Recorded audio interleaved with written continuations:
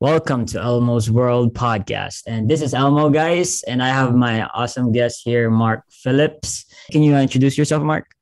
Sure. Thank you, Elmo. I, I look forward to being here. I think we'd tried to uh, to have a discussion some time ago and things didn't work out, but I'm glad to finally meet up with you and have a conversation. Yeah. So, yeah, I, I live in uh, Southern Ohio on the uh, uh, in a small town on the Ohio River where Kentucky, West Virginia, and Ohio meet or close to it. Uh, I teach at a local Bible college, Tri State Bible College. It's been around for a little over 50 years. I'm a uh, uh, I'm on the faculty, teach apologetics and uh, intro to philosophy. And so I I actually work in administration at my local church. I'm an administrator, um, which means I make a lot of coffee and I bother the pastors as much as I can. so so and then I like having conversations. Uh, that's just that's just one of the things that I do. I I'm speaking at a conference a uh, week from tomorrow that our, our college is having. We're we're located in a region of, of the United States known as Appalachia. Um, I don't know if you've heard of Appalachia before. It's a uh, it's uh, it's an area, a region of 13 states that is dominated by uh, small mountains. They're compared to the Rocky Mountains, they're more like uh, big hills, but they're it's a mountainous region where access is limited uh, mm-hmm. by highway and where poverty has been chronic for uh, better part of a century. It's one of the earliest regions settled in the U.S. by uh, by pioneers, by Europeans pushing westward. Um, it's got uh, some interesting issues that have uh, stuck around for generations. Uh, people are typically poor. Uh, we we have a the city right across the river from me is Huntington, West Virginia. Uh, it's got a terrible uh, drug problem with both uh, prescription narcotics and heroin abuse. Uh, it's it's a it's not a very wealthy region of the country, so it, it's it's like a, an isolated area that uh, is behind in certain respects to the rest of the U.S. But now that internet is here, um, we have our same old problems, but everyone seems to like like TikTok you, and everything else. Yeah, so, you really got the know. details on the location. You you're a very good, probably a very good writer. You know, very good uh, d- descriptions and everything. right, right. so, awesome. but we do. We we have a lot of. Uh, it, it is a conference on Appalachia. I'll be speaking on uh, critical theory and critical race theory. So, mm-hmm. and uh, it's, so it's just it's a it's been a good place to live and raise my family, and and so now here I am talking to you. So, all so right, it's all awesome, good. Awesome. Okay. Well, um, Mark, I, can you can I ask you why you are a Christian and why do you think it's the the most viable belief system to believe in. Okay, in, in a nutshell. Yeah. A nutshell. excuse me. I, I, was raised in a Christian home. Mm-hmm. Um, when I went to college at Ohio State, uh, after after college, I kind of grew my hair out and played in a band. Awesome. Um, we played a lot of. Uh, was it a Christian band or like just secular? Uh, no, no, it was secular. Okay. Um, we we like I we've been to a lot of concerts. You know, I went to see Rush and Queensryche and uh, all sorts of, of more progressive or metal bands and and and I did that for the better part of I don't know a decade and a half. Um, and then I decided I finally wanted to earn some money. Mm-hmm. so so I I got a real job and uh, and eventually wound up getting married. Um, how, how old were you? How old were you when you decided to uh, earn some money? Uh, let's see. I was probably closer to thirty. I okay, think. okay. I still have time. I'm still yeah, there's plenty of time. so, yeah. so the what what eventually happened? I I wasn't as serious about my faith. I didn't mm-hmm. walk away entirely, but it just wasn't important to me at the time. Um, then when I uh, got married and had kids, I realized that I was going to have to bring them up somehow in mm-hmm. some manner of an ethical way to be good citizens and uh, and actually uh, do well for themselves. So that's when I kind of got serious about about uh, my faith again. And then I realized, as I was working at my church, I realized that there were uh, things that I didn't know. Um, remarkably, a, a, large number of things I didn't know about Christianity, and I went through a crisis of faith. I actually uh, would would teach little kids at church, and then come home and stare at the ceiling, not able to sleep, uh, wondering if it was all true.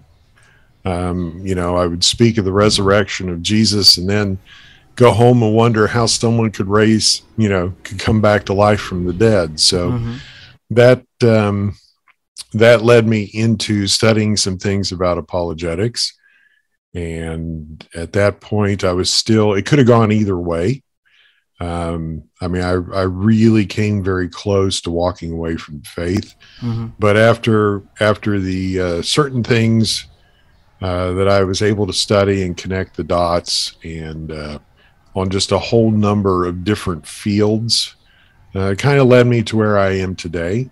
Mm-hmm. And so uh, I, I do I do teach high school students at my church uh, aspects of uh, apologetics and Christianity. Mm-hmm. Uh, sometimes they're I I don't know how convinced they are. I think I've been doing this long enough that I've seen a change in attitudes and knowledge, epistemology, and uh, education level, I've noticed that once cell phones and tablets became more a part of everyday life, that um, that these students I have now, um, they're smart.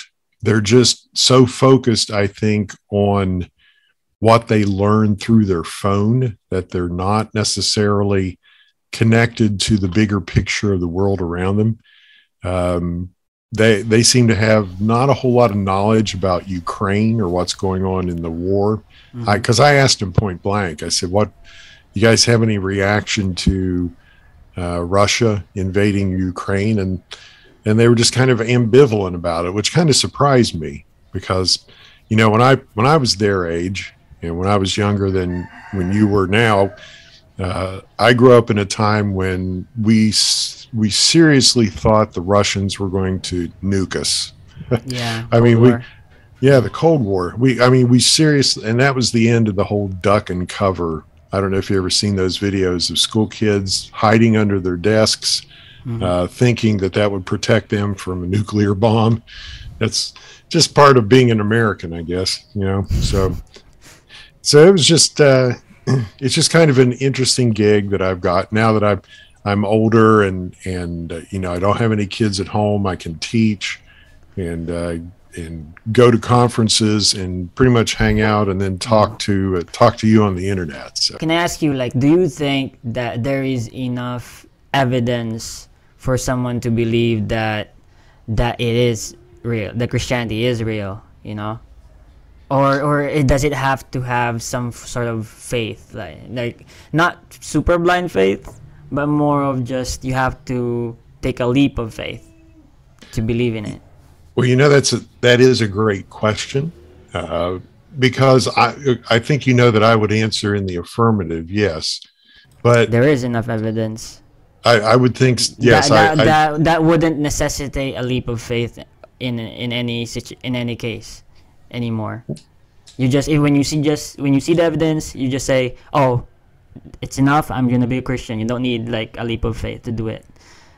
Well, one one of the courses that I actually teach at the Bible College is General Revelation, which is the evidence for the existence of God mm-hmm. uh, that is present in the world. Now, because you bring up a great question, because I've had interactions before in person and on Facebook about the nature of evidence. Okay, so you many times I've noticed that uh, my friends uh, in the atheistic community, um, to them, since the universe is a closed system, uh, many times they will ask for physical evidence or or let me say empirical evidence okay?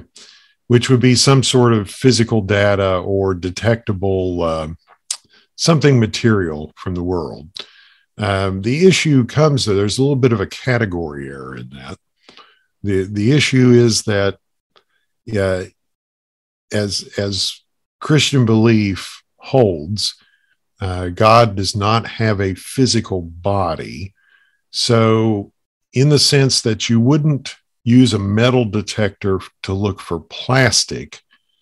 Uh, you can't make the assumption that plastic doesn't exist just because your metal detector doesn't pick it up.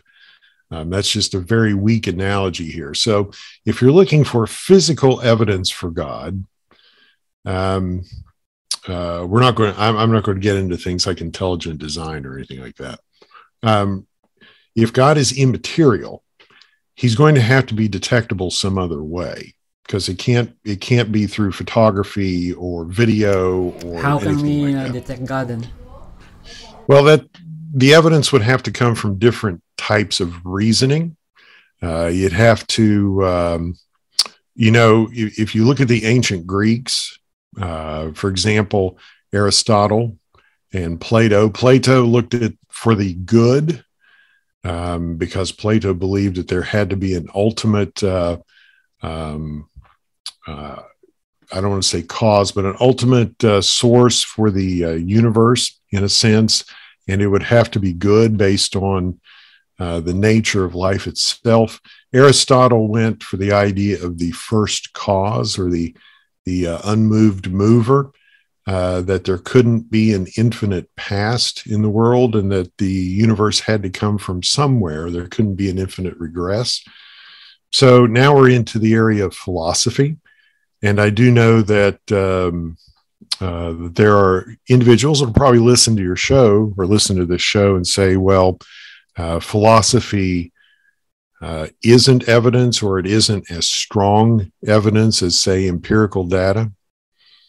And that, that raises a question, though, uh, because if just because the universe is very large scale, the question becomes where did the universe come from?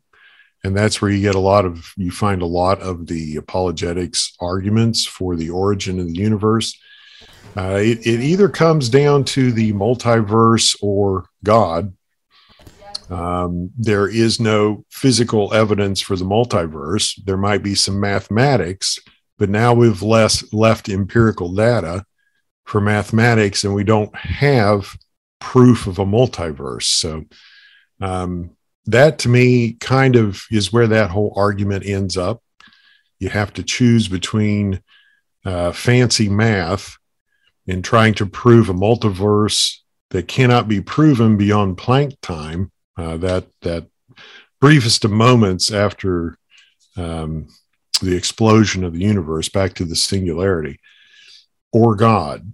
And so if if we can't have an infinite regress of time, it's got to be one of those two things.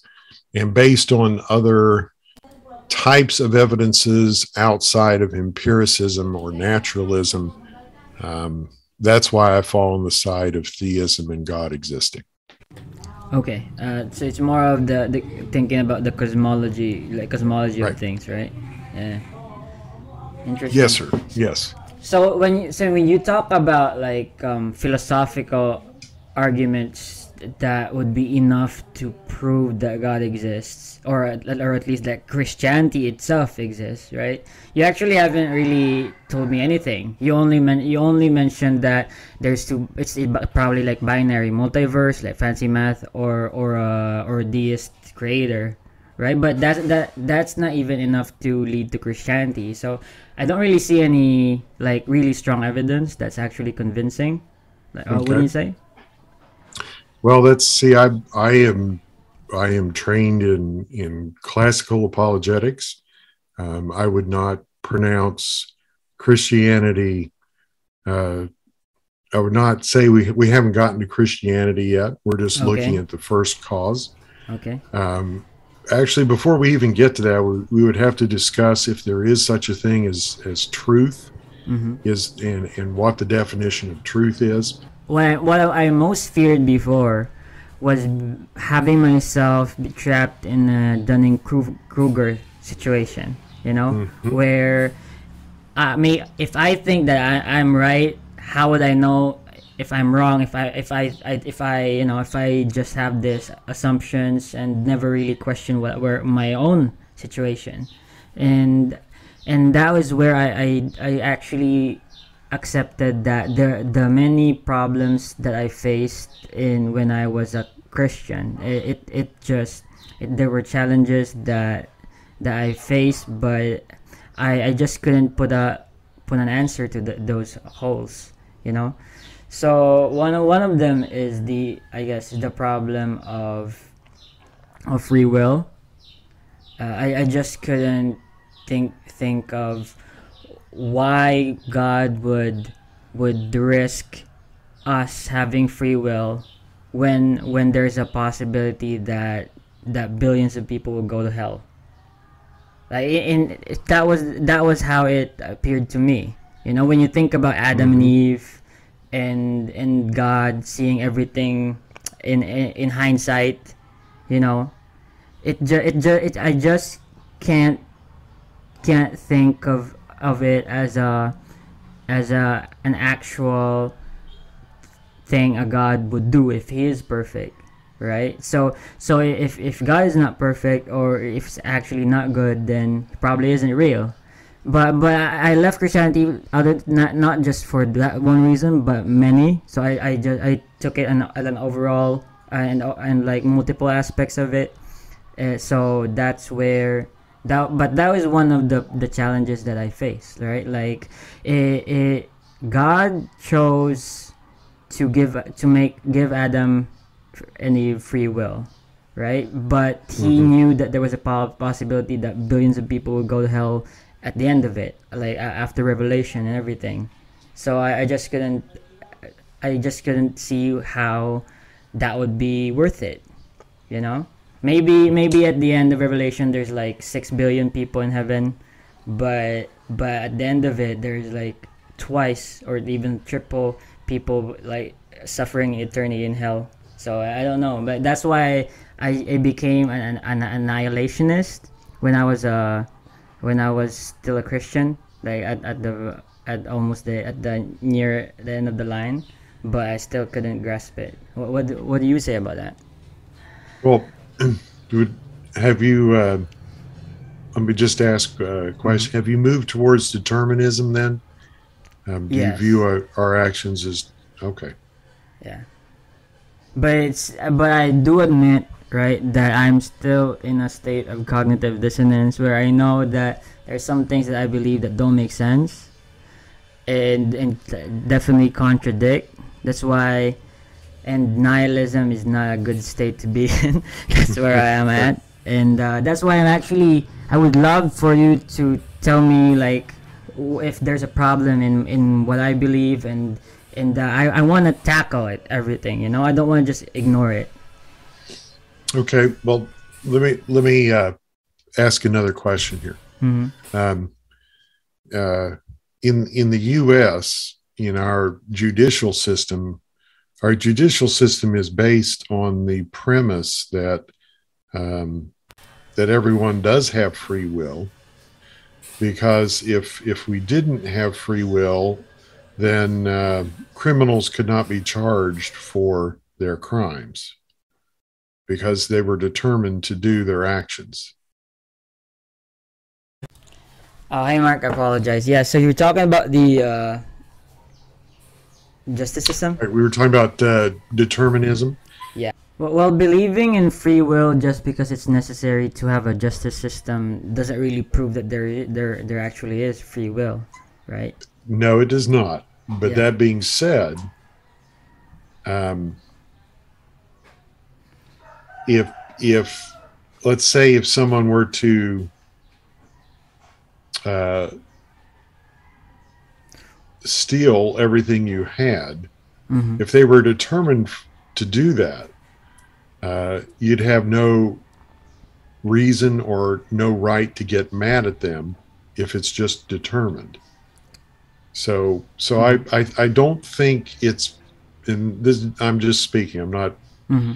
I, I'm. Just, I don't think anyone could actually live uh, in complete agreement with their beliefs. Mm-hmm. Um, I think there would be cognitive dissonance in that in that case to keep acting as if we don't have free will. Mm-hmm. Um, Well, there is Uh, a it matters to them. perspective, right, where mhm. where they do admit that r- human rights, dignity, uh, the value of life, truth, justice are are simply social constructs, right? And everything is just a power struggle, which it mostly is, you know. And so, but uh, in order to survive as a species, we need these social constructs in order to to uh, uphold our society. So, even though there is no such thing, it, it is very useful and so that's why peop, uh, people st- uphold it right Right, right. The, the thing is, you know, if, if you would hold to that, Mhm. then there was nothing wrong with the Russians invading Ukraine. Because if they were determined, so do, to- do you think it the Rus- russians are objectively wrong in invading ukraine yes, I would I would think Mhm. so well, for a number of, because the, um, uh, if you look at the trials of Nuremberg, mm-hmm. Um, for example, the the Russians, French, Americans, British conducted the tribunals in Germany at Nuremberg. Uh, under German law, it was legal. Um, genocide was legal against the Jews at the time, but when Judge uh, Robert Jackson of the U.S., who led the, the trials, established that whatever the Germans did, it was a crime against humanity. Um, whatever humanity is, that's that's a philosophical term. Um, so whatever they did was injurious, and and and Jackson held to the belief that there was an overarching transcendent law that whatever the Germans did, they violated this notion that all human beings have value, and it's a transcendent notion that is not rooted in social constructs. Um, that's that's one of the issues of history that kind of gets neglected. What whatever the Germans did during World War II, uh, uh, did injure within a portion of humanity that thing that makes them human. Um, so, so all of the Nuremberg trials are based on the idea that law and morality are not social constructs, that they are objectively, that they were objectively violating uh, this knowledge of right and wrong that all humans possess. So, so again, I, I know we've been discussing the justice system, and that wasn't necessarily the point of tonight. Um, but that that's uh, just to kind of move the conversation along. That's I I do think there's enough uh, behaviors that we can't consistently live with the idea that that it's just a social construct and there are no ob- objective moral truths. So that would be another issue for probably another time, but I don't want to bog down here. i see okay Yeah. yeah, Uh, so talking about christianity again so you were the so it was a sense of justice right that it's that free will is necessary for justice that's why we have to have free will Well, I, I think a lot of people feel that the world could be better. And if the world could be better, that means that people would have a choice to make it better. Um, otherwise, we're stuck, and and now we're back to nihilism, um, fatalism, and and mm-hmm. so I I just I think there is a desire. I think there's a worldwide and I could be wrong. I mean, but I think there's a worldwide desire to see what's happening in the Ukraine stop and to see what other countries around the world are doing to have them stop. And even my own government here in the US, there are people who wishes that the US might do some things that they stop. And so there's a you know, there is a desire for something better. Mm-hmm. And it seems to again, I'm going to get back to this word transcendent. It seems to desire something that is almost just out of our reach. Um, out of reach. What do yeah. you mean? Like, uh, like there's something better that we could, uh, as a species, get a hold of.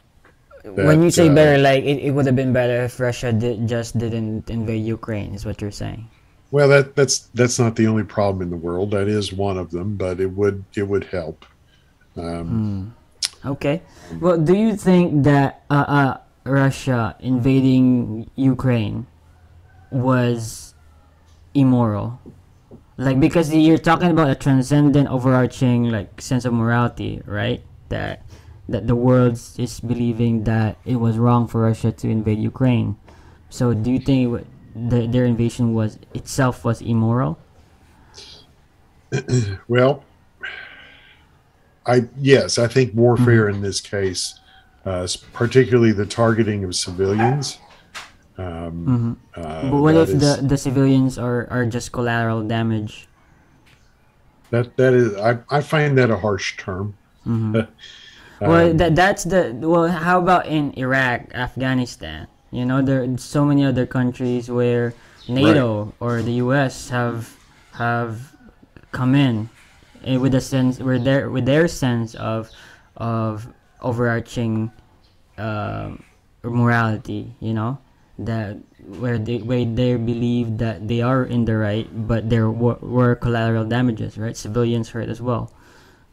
Right. There's, I, I think there are some questions about the legitimacy of the wars the U.S. has conducted since World War II.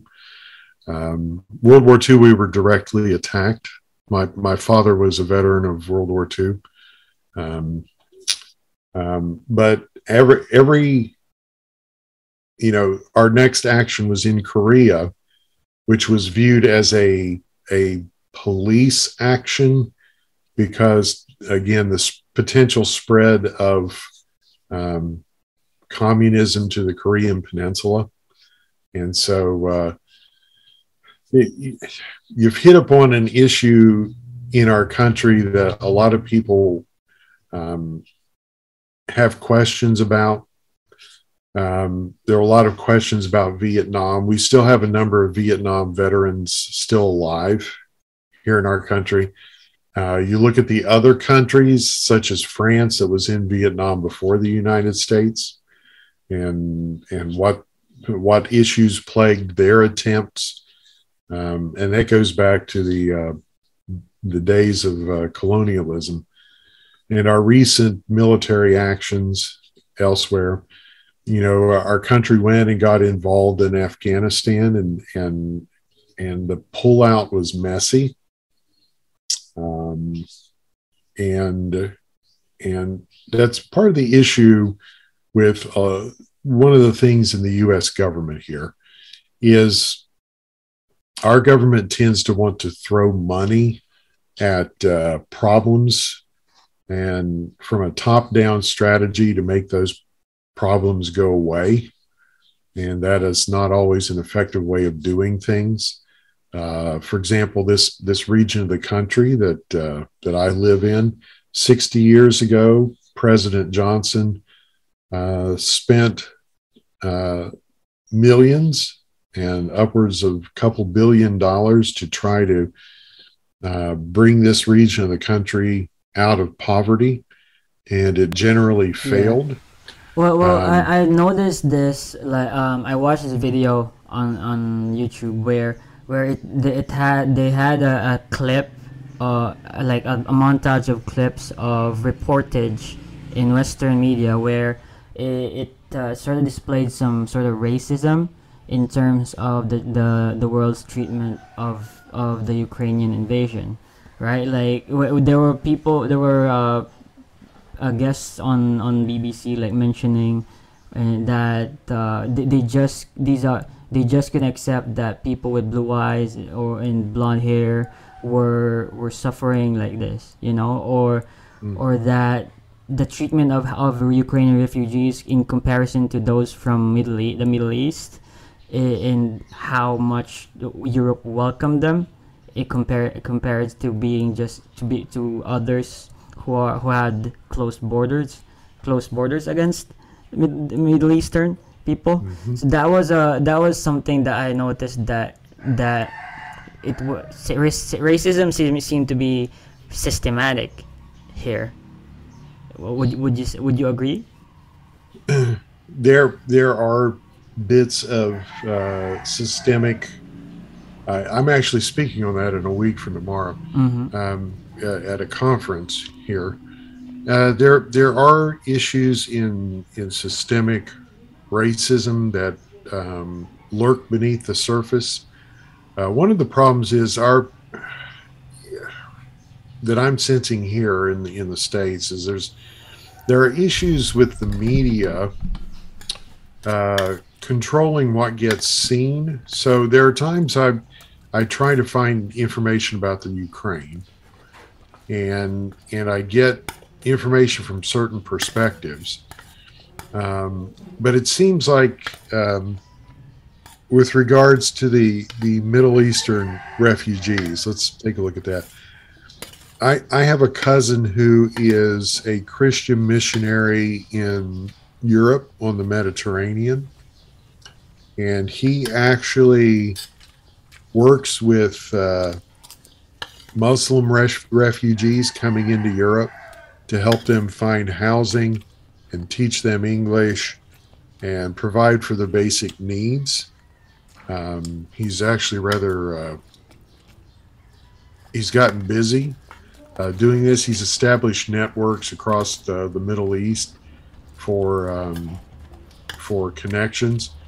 Um, so he would he would agree that that media coverage seems to uh, kind of kind of vary in their presentation of what's going on. Um, I here's a, here's an odd statistic for you. Um, I don't know if you've heard this or not. Their um, missionaries are reporting that approximately 23% of Muslims that are becoming Christian that they uh, that are converting to Christianity, that about 23% of them are experiencing an encounter with Jesus in their dreams. And and I have done a little research on that, and my cousin in Europe confirms that. Um, he's met several former uh, Muslims who who are now professing Christ, based on what they maintain. Now this is this is their experience. You know no one else can have this this the phenomenon of this experience except these people but they have left islam for christianity. Um, uh, be, that would be a, an interesting guest for you to have on sometime is someone who's who's a missionary who can either uh, vouch for that statistic or or put that one to bed. That's uh, that is that is something that is in, intriguing me. Um, but I've heard it from multiple sources. I've had a couple validate it, but um, I just don't know how you how you go about researching it right now with uh, um, with uh, the attitudes of various nations. You know, um, it seems like seems like the population around the world is getting a little more tribal. Um, so just something something for you to consider if you want to guest sometime. You might find someone who could speak to that. Yeah, uh, definitely.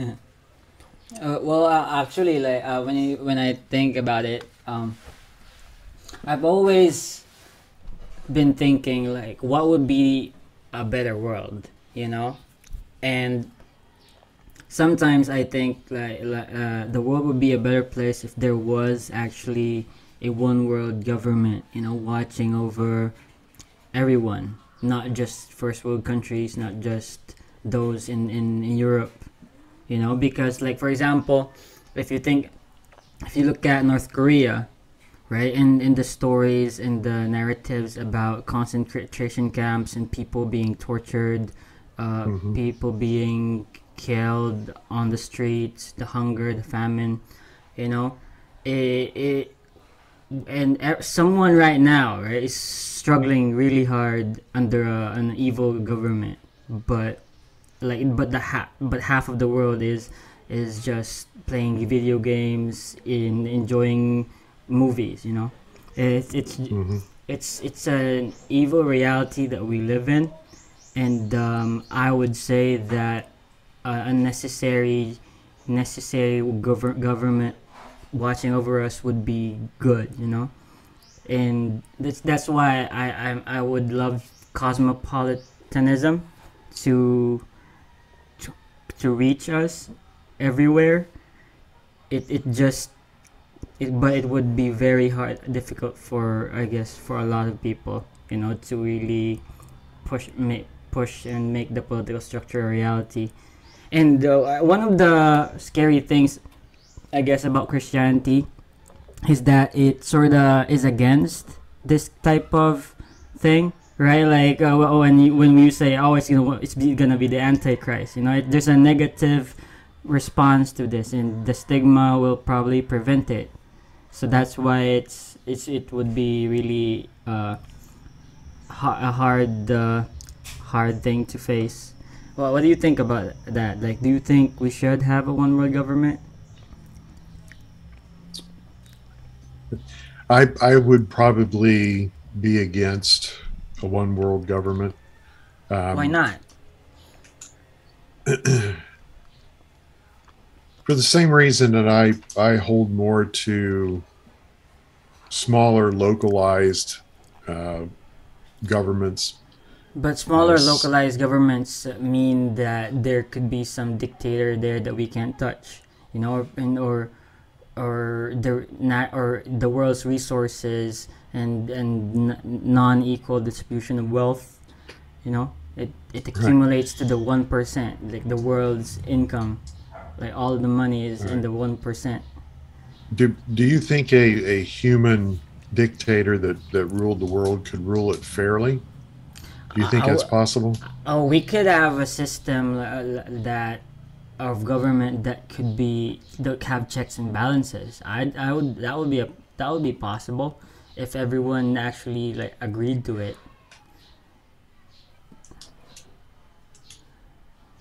Do you do you think a um, do you do you think there would be a person who is morally upright enough to actually rule fairly? I'm well, just thinking. thinking well, well, well. It, it's it, the difference actually with the one world government and and what we have now is just population, right? Like eh, like uh, tw- like a century ago, like the the Earth's population was was like the the population of China and India together, or even less. Mm-hmm. So and when we're not saying anything about about India or, or Russia or China or America, right? It's it's it's already happening. So I, I wouldn't say that that. But so do you think? So why would you prefer a lo- lo- just small localized governments instead of one world? Because I I think uh, I have I think humans have a problem mm-hmm. with um, with human nature in general. I I you, I just I just do not see a person. I can see a charismatic person, uh, someone with a lot of charisma, uh, rising to a a seat of power, such as one world government, and then abusing that. I just have a, a difficult time with human nature and and you know I I would say of course the only person who could rule fairly would be Christ, but again I'm taking that from a, a Christian perspective, mm-hmm. even then there would be justice. I mean, someone someone would have to. Uh, it you know I I I haven't really uh, followed this out to its logical con- conclusion yet. I just um, I think I think there would be issues. Um, I know there have been good leaders in the world uh, before, but I, I, I think of humans as morally flawed, uh, even the good ones.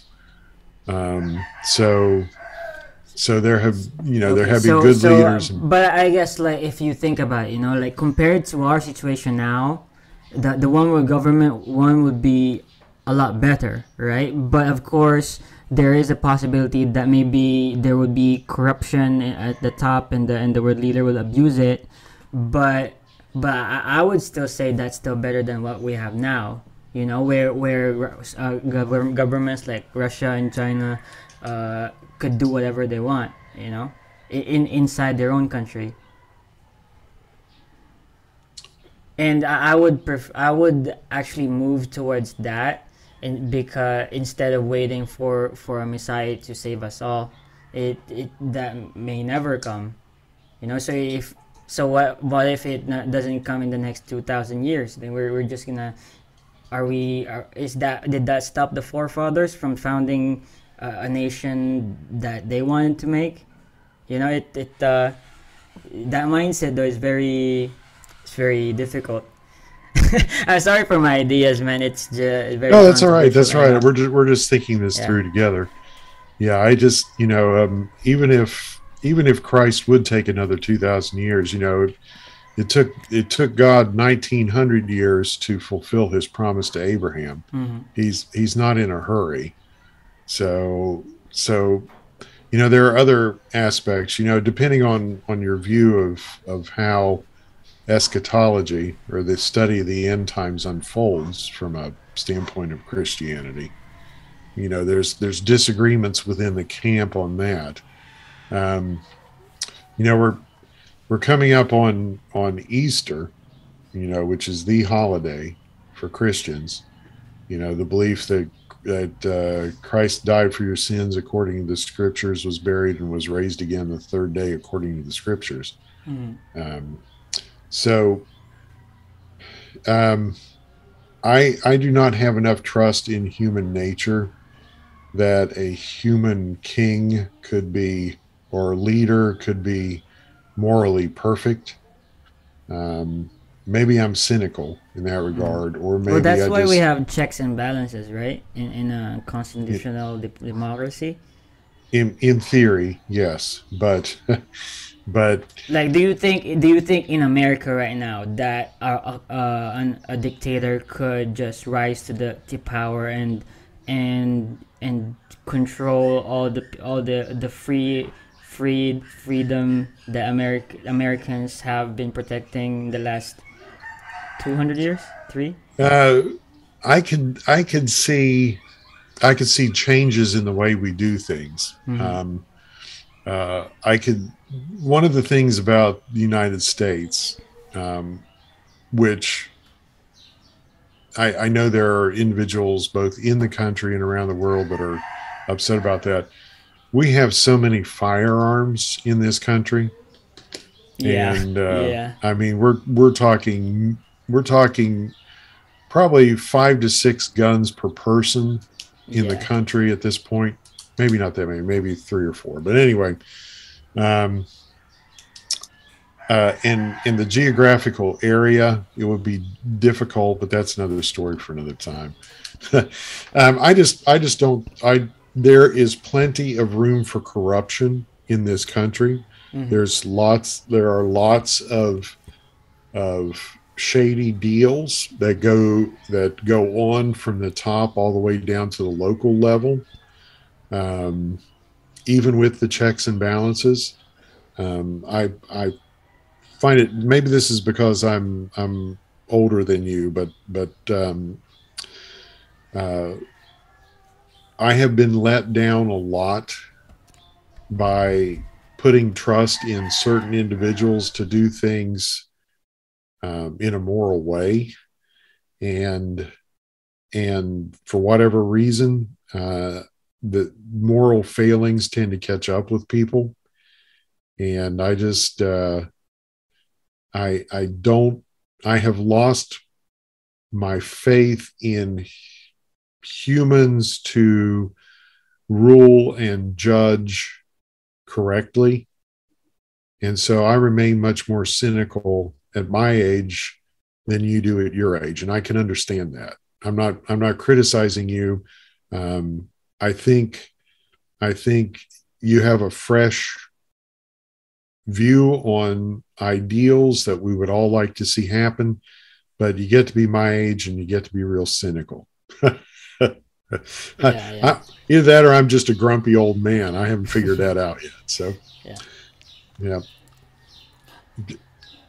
Well, I guess though that like if we do want to move forward as a as a as a as the you know as the human civilization, it, it would be best to actually want the best for everyone, right? And, th- and think of a way to achieve it, even if it does look uh, the future does look bit look a bit dark, right?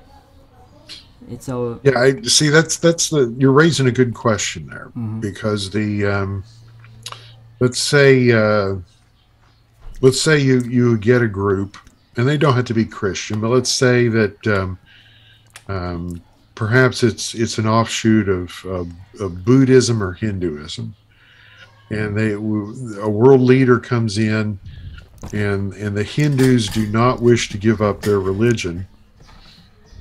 But let's say the world leader is from China who wants um, no aspect of public public uh, religion whatsoever.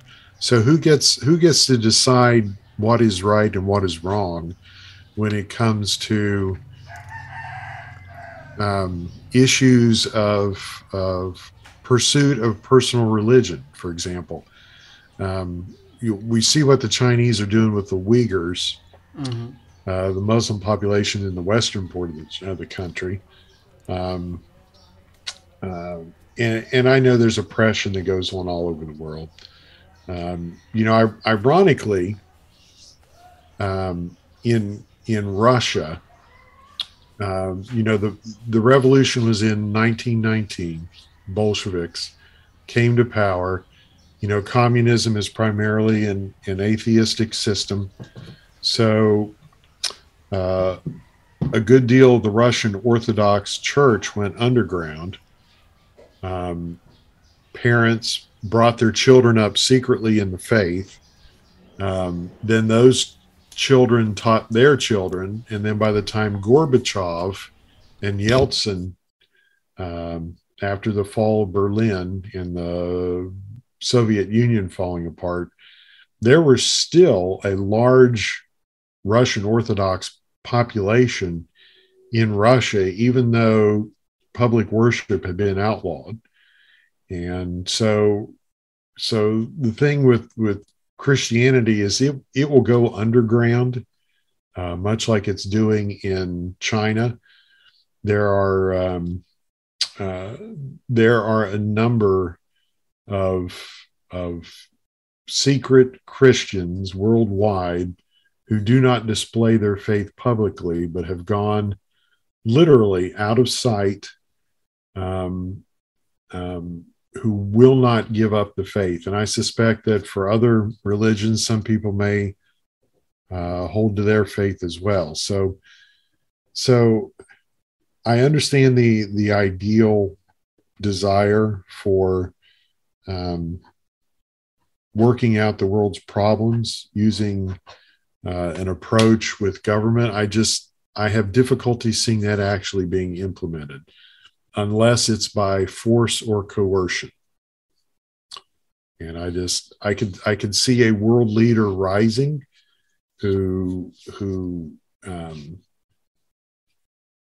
a number of the world kind of gets fascinated with, and he appears to have great charisma and pathos, and he speaks um, words that unite. But I just I see the difficulties in that system. I, I don't see that happening in my lifetime. I'm I'm 58. Mm-hmm. I, I don't know if that's if that's going to happen.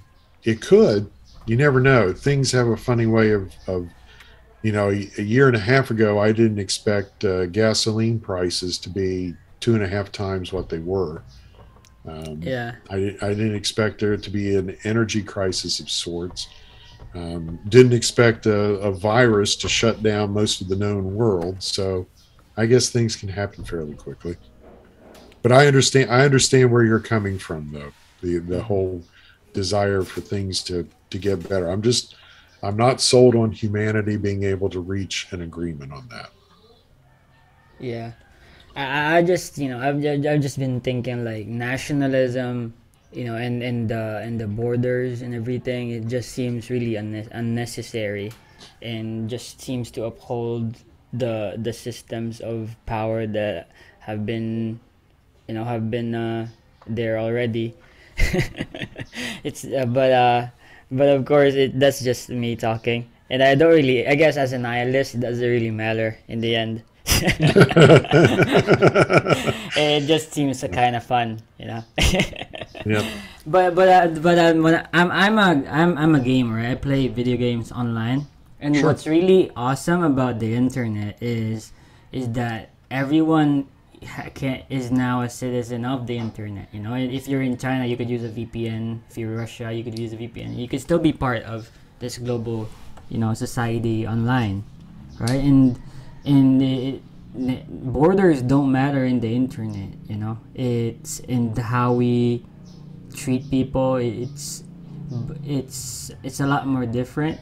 So i i'm I, it's for me like i'm sort of seeing like kind of a, a how we would eh, be in the future and how we would act you know? That that that would be best right? Where where passports aren't necessary and uh, well i'm just dreaming. That that's just how I, I wish the world would would be now. But of course not the internet of course has a dark side too. I i would admit. I uh, i do find it fascinating though that that i mean even even just a few years ago this sort of conversation wouldn't be possible yeah, without definitely. without the yeah. without the technology. So especially so for that, someone like me. Like i'm in, in a third world country. And uh yeah that. So so yeah, we, I, mm-hmm. no i was just going to say when when i was a uh, when i was a boy which was a long time ago there were always discussions of of one day we would have phones that have television screens where you could actually look at the person you're talking to and and you were right. and now we now we've just got that in our pocket. You know you can just pull out your cell phone and facetime someone. But that was always the the dream of the modern future when i was a kid. Mm-hmm. that and we were promised uh, flying cars. We don't have those yet though. Yeah. Flying cars. Yep. uh, so so i um when you when we talk about like for example you you uh about evangelism What's your mindset on it? Like, uh, what's the urgency? What, how much sacrifice are you willing to do? And what are the what would be the cost that you would willing be willing to face? You know, for evangelism. For evangelism, mm. uh, conversations like this one. That's so that's that, what I, that's your that's your maximal just, thing. Just you, just more of a, a, a one-on-one thing. Yes. Mm-hmm. Yeah, it's uh, it's much more personal and uh, mm-hmm. and uh, when when I, I, was in in high school, right, I was a full-on Christian, and I was I read this book, uh, the the one thing you can do in heaven, right? Uh, mm-hmm. I think who, who who wrote that? Like Billy Graham. I or or and I read that book, and so the one thing you can't do in heaven is evangelize, right? So okay. it, it, it taught me that to prioritize sharing the gospel at in my life, like to the in in, in the most optimal, efficient way I can.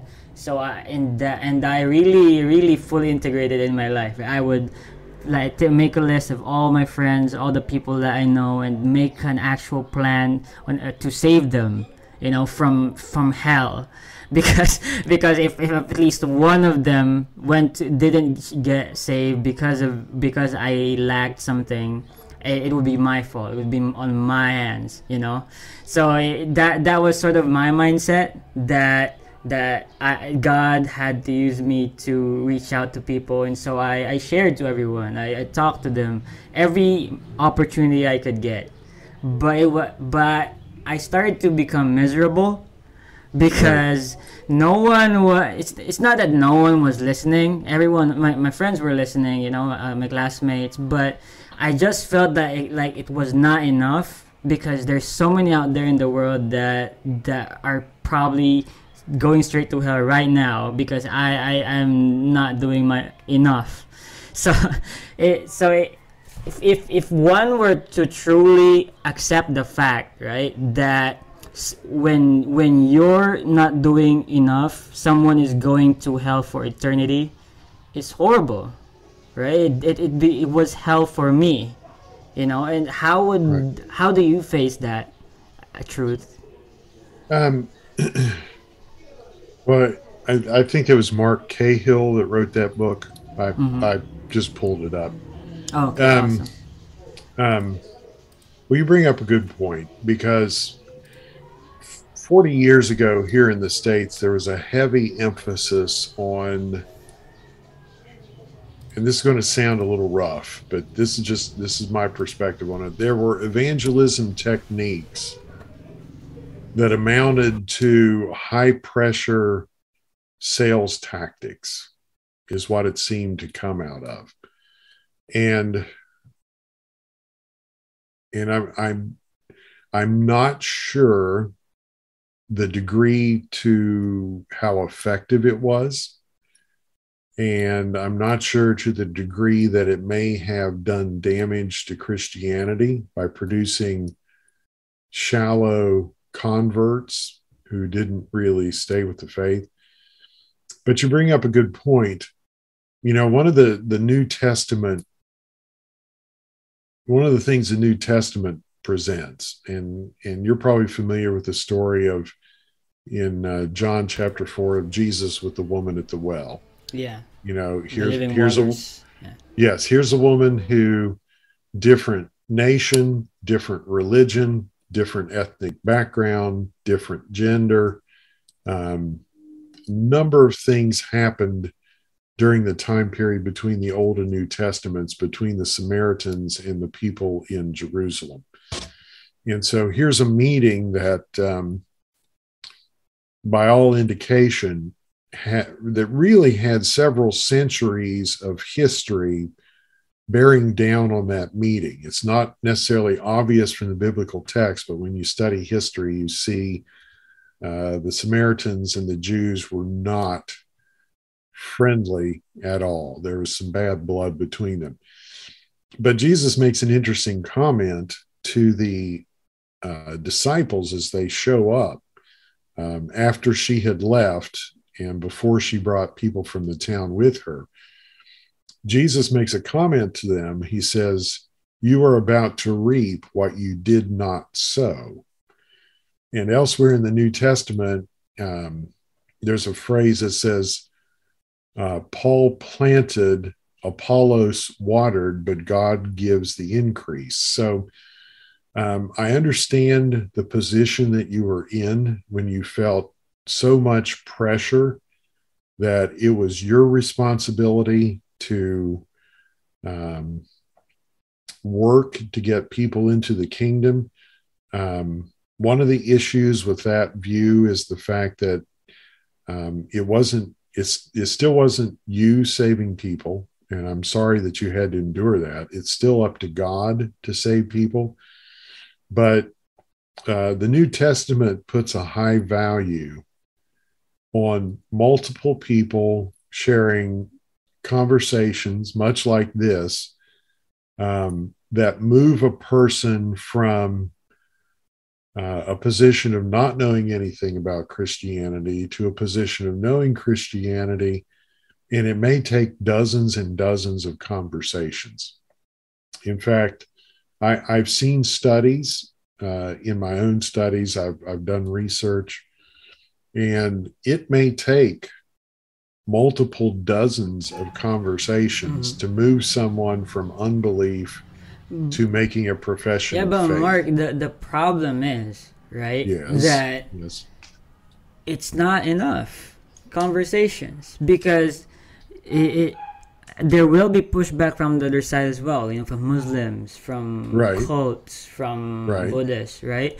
And right. and so if you think about the math mathematics of it, if, let's say if if all Christian countries just try to colonize all other countries with the non-Christian majority religion, then at, even though there were casualties, the the I'm sorry for talking like this, but it, if we were able to remove all the other religions and and uh, tell them about Christianity instead, you would be able to save their future generations. You know, because what we're doing right now, if you are, if I'm a Christian, it seems that it's just not enough, right?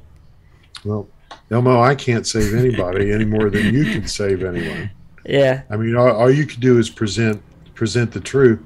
First of all, if if God is sovereign, He can bring people into someone's life. And I just I mentioned, you know, probably a half hour ago that that that there are reports of Jesus actually appearing to people in third world countries where they do not have access to to hear someone evangelize. So so I, I, guess we, we look at that from a different perspective, you and I. Um, mm-hmm. uh, I I know you you felt pressured and then it got overwhelming. It sounds like it. That no, but that, that you, was the back in high school, you could, of course. Well, that you couldn't do enough, you know. Yeah. And and you know the the reality still remains. It it wasn't up to you to save someone. You you couldn't save someone if you tried, but you could. You could tell as many people as possible. Um, that would but still again, not be enough, right? Would would it ever be possible? Do you think to to do enough? Oh, I, um, I would say I guess like living an ascetic life and just set and just what do you call that? Um, you know what Jesus was asked for. You know when when he asked the man to like leave his home and sell all his possessions, you know, and give it to the poor and just follow yes. him. I think that would be actually the perfect and ideal thing for Christians to do, but that's not what anyone is doing today. And I, I would say that if there if, if one truly did believe Christian values and teachings, then you would you would be an ascetic right now and just try to evangelize as many people as possible you know that I, that I think that would be account for a true belief in christianity not not one hmm. where you prioritize comfort and security first and then just passively try to talk to people about christ not no offense you know that that's just from my perspective i have a really no. uh, yeah I, I don't want to be like uh, uh, not, not not like being insulting or anything or condescending. That's no, you're not. My views. You're not. I, I didn't. I don't feel that way. So yeah. So um, no, I guess I guess we just have different views on that. Okay. Um, and and, and again, but do you so, think though there is an urgency to evangelism? Like every second counts, and and you have to do your part. Would you say that there is one? I I I approach it from the standpoint that there are divine encounters uh, where someone gets a chance to speak truth to someone else. Mm-hmm. Uh, I also understand, though, about the nature of conversion. Um, I, I, have. Let me give you an example. Yeah. Let me give you an example. Two examples. Number I have a, a, a close friend who's a retired pastor who has led person after person. We're talking probably hundreds of people, um, led them to professions of faith in Christ. but he's not the person that did the planting or the watering or the sowing of seeds. He's the person that the Lord has moved into a position to find someone who is ready to make a profession of faith. It, it's almost uncanny. Um, and again, I think it comes from an understanding that there are, there are people who plant seeds, there are people who water those seeds, there are people who encourage, there are people who come in and out of another person's life. Um, and there, when the Lord, if He is sovereign, which He is, uh, He will bring about um, a profession of faith in due time. Um, plus, we know, as I've, I've, said earlier, that that um, if there is not someone um, mm-hmm. if there is not someone who come into a person's life um, i am not willing to, to, tell god he can't reach out to them uh, and have jesus appear personally mm-hmm. so so yeah. Um, I know, but I, I understand your your idea about. I mean, I understand your perspective completely. Yeah. I. I, do understand. I think we just disagree on how it gets done. Okay. Maybe. Awesome. Well, uh, that that was just a suggestion. You know, it doesn't really matter in the end. uh, I'm joking. Okay, so that, well, um, uh, one last uh, topic, Mark. I, okay. I want to okay. ask you. You mentioned um, critical race theory, right? Yes. Mm-hmm. What is that? I have no idea what that is. Okay, there are. Okay, let me back up a little bit. There is an umbrella term for a number of views that desire justice and change in society, particularly American society. The umbrella uh, the overarching view of all these views is known as critical theory. Critical theory looks for um, economic and systemic problems in a society uh, that relate from perhaps racism or mm-hmm. discrimination and seeks to remedy those through legal means. Okay? okay. So, critical race theory would be a sort of like feminism right well feminism is feminism exactly feminism yeah. is one of the fields under critical theory okay. there's also uh, queer theory fat theory um, uh, critical race theory focuses on racial inequities in mm-hmm. the in the us uh, the the now, there are a number of similarities between the goals of critical race theory and, say, Christianity.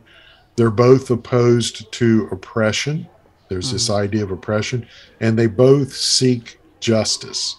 Okay, they're both seeking justice. So uh, the issue is how they go about uh, finding that justice and what they are rooted in. You know, Christianity would be uh, rooted in the teachings and ethics of Christ.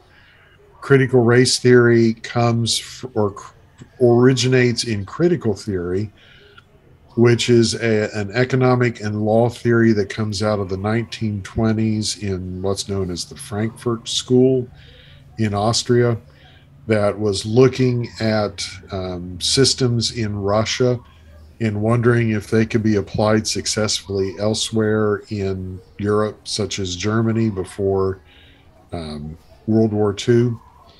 So it's rooted in more of a human, uh, humanistic, uh, uh, Marxist ideology, and so so as I, as I said at the start of the show, you know, I'm I live in a in the area of Appalachia, and 60 years ago, there were a number of volunteers who came into Appalachia to try to help lift it out of poverty.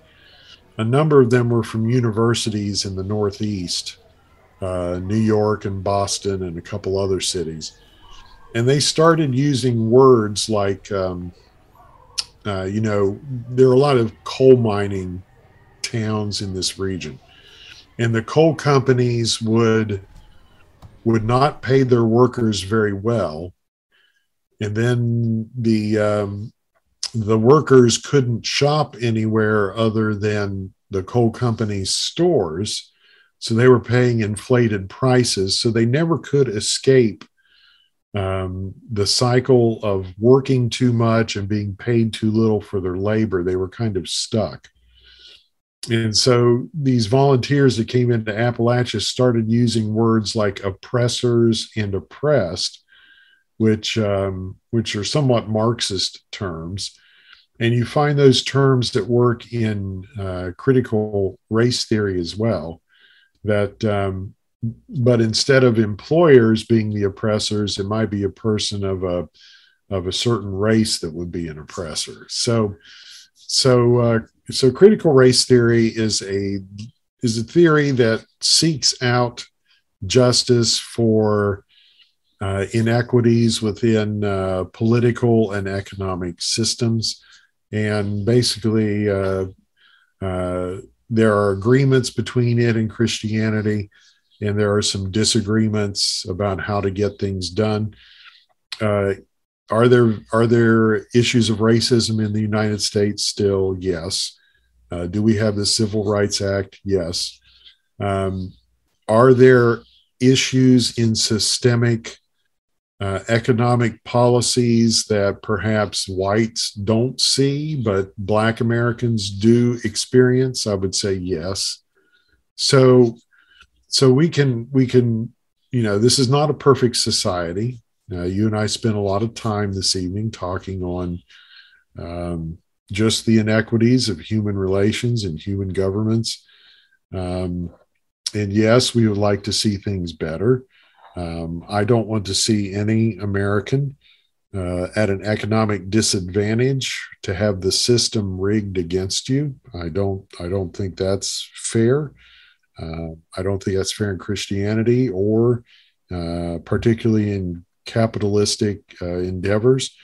But as you and I have discussed, um, people can be greedy, and people can, um, if they if they get a little bit of power, either politically um, or by some other means, economically, um, human nature does not always seek the good. Human nature tends to look for itself. So, so uh, that that's pretty much what we'll be speaking on on on what I'll be speaking on when it comes to critical race theory. Okay, that, so, that's awesome. Um, yep. Well, uh, Mark, I, I guess um, I want to ask you another like last last question. Sure, sure. Do you think do you think that uh, someone can be a true nihilist, like truly believe and live life, even though he uh, that someone knows that not, life is meaningless. I might have to think about that. Hmm. Um, I, I, I think uh, a number of people, excuse me, live inconsistently with their worldview. Uh, yeah, I think you don't realize yeah. it. Yeah. Um, I think I think you and I both know that there are Christians who live inconsistently with Christ's teaching. Um, I think I think if someone holds an atheistic worldview and and they view the uh, the world as not having any right and wrong, I see some consistency issues with that uh, when it comes to matters of personal um, uh, for example, personal justice. Um, I don't know. I've never tried to live as a nihilist. never tried to live uh, in an existential way. I, I, I, think I'll just let it go. I think people have difficulty. All people have difficulty living up to uh, the standards which they profess. How about this? If if if Christianity wasn't true in the end, would you regret not living your life in in the in the, the other way? Um, well, you know, Christianity rises and falls on whether the resurrection is true. Mm-hmm. if Jesus didn't rise from the dead, then Christianity is false. I mean, I have tried. Um, the older I get, the more I desire to live a a good life that seeks what is true and what is good and what is beautiful. I I don't want to live a life of um, of, of being being hateful or um, not caring about my fellow man, not worrying so much about uh, things or things I can buy, but but being more concerned about how I treat people and whether they're doing well and what I can do to alleviate suffering. Um, I may fall short on that, but those are my goals. excuse me, I got a, got a little tickle in my throat here. it's okay. I, I think uh, you know. I think uh, you know. I think part of the problem we all see are, are people who are hypocrites. Um, you know, Christianity has its share of hypocrites, but again, the truth of Christianity doesn't depend on how its members behave. The truth of Christianity depends if, if on Jesus rising from the dead. Paul says as much in 1 Corinthians 15. If uh, if Jesus is not risen, then your faith is useless. And I ask my students that sometimes, you know, if if Christianity's false, why are we here? Why are we doing here? Why why are we bothering playing church and why are we doing all these nice things? If it's not true, then we ought to be off pursuing something else. Mm-hmm. But, you know, my belief is that Jesus did rise from the dead um, uh, based on evidences within the Bible and outside the Bible. I think the growth and spread of Christianity. I think the disciples having their own disciples, we have the writings of those disciples, a good number of them, uh, that's contained in the early church fathers. They repeat the, the teachings found in the Bible. So the Bible hasn't been changed or corrupted. Um, and we, we have evidence that some of those beliefs go back very early, uh, probably within six months of the uh, crucifixion. So um, Christians behaving badly does not mean that Christianity is false. And I think, unfortunately, that that's kind of where a lot of the world oh look there's a bunch of hypocrites doing their things. Well that doesn't change whether jesus rose from the dead or not. And so that that's kind of my final thought for the evening. Yeah okay. So yeah. but i'm um, maybe maybe if i come back sometime since yeah, this was our first, first time meeting. We've kind of covered a lot of ground. Yeah i'm all maybe, over the place. I apologize. It's i'm just so right. excited. Well maybe maybe you can maybe you can edit down the better parts and then when i come back we can figure out what we're actually going to talk about. All right awesome. Okay, okay. well mark um, is there anything that you you uh, you want to share to the people listening?